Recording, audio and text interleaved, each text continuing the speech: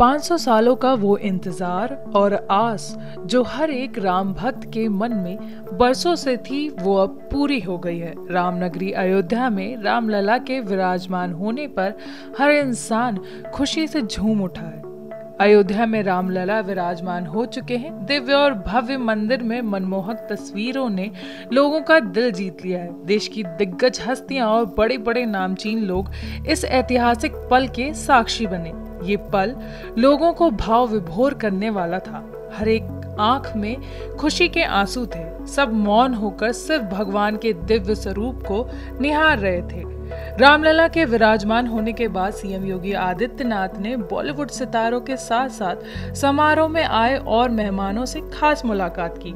इस पावन अवसर पर मेहमानों के चेहरे पर सीएम योगी से मुलाकात के दौरान गौरव वाली मुस्कान थी। बॉलीवुड के महानायक अमिताभ बच्चन के साथ अभिषेक बच्चन सीएम से मिलते समय काफ़ी खुश दिखे। विक्की कैटरीना, रणबीर आलिया समेत माधुरी दीक्षित और उनके पति ने भी सीएम योगी के साथ खास तस्वीरें खिंचवाई। आध्यात्मिक गुरु श्री श्री रविशंकर ने भी शानदार मुस्कान के साथ सीएम योगी से हाथ मिलाया। इस दौरान दोनों एक दूसरे को देखते भी रहे। खास बात यह कि रामलला की सुंदर तस्वीरों और वीडियो से पूरा सोशल मीडिया पटा पड़ा है। रामलला की प्राण प्रतिष्ठा के बाद पूरे देश दीपोत्सव और आतिशबाजी से जगमग हो गया।